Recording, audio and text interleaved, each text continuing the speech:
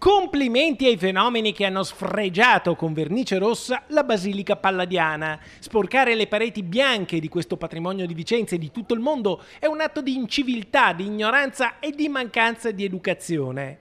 Un gesto vergognoso che però non resterà impunito. La polizia locale è già sulle tracce dei responsabili che alle 2.20 della notte tra sabato e domenica hanno sporcato questo patrimonio dell'UNESCO. Le telecamere di sorveglianza hanno registrato le immagini di due uomini provenienti da Piazza Matteotti che hanno attraversato Piazza dei Signori e mentre uno faceva da palo, l'altro metteva il suo bollo di idiozia sui muri della basilica.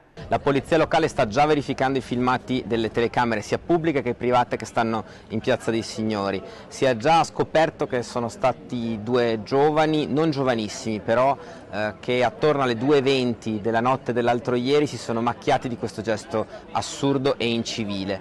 Eh, L'idea è quella di denunciarli il prima possibile appena saranno individuati perché chiaramente scontino dal punto di vista penale eh, quello che è previsto dalla, dalla legge ma anche per chiedere un risarcimento dei danni. Adesso la sovrintendenza dovrà autorizzare la pulizia della colonna, che verrà affidata alle mani esperte di un restauratore. Intanto questo scarabocchio rosso resterà provvisoriamente come rappresentazione della frivola idiozia di chi aspetta la notte per sfregiare vigliaccamente un monumento che simboleggia la bellezza.